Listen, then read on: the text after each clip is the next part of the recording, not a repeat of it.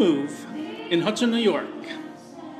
An installation of North Carolina based photographer Cathryn Griffin. This is an installation of 30 photographs as curated by Jon Jicha. Everyday places on the move.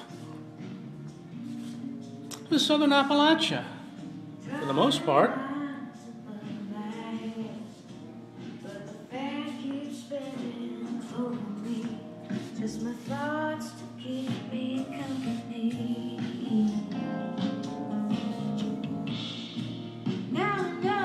You are here floating, an image from an automobile, on the road, on the move.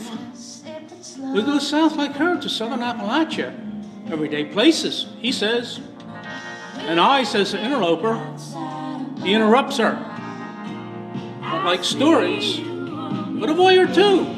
Maybe a tourist, I say, with a dance perhaps. And a gentle irony, says the interloper again. This is an Elwood Beach production in Hudson, New York, at the Curatorium. The space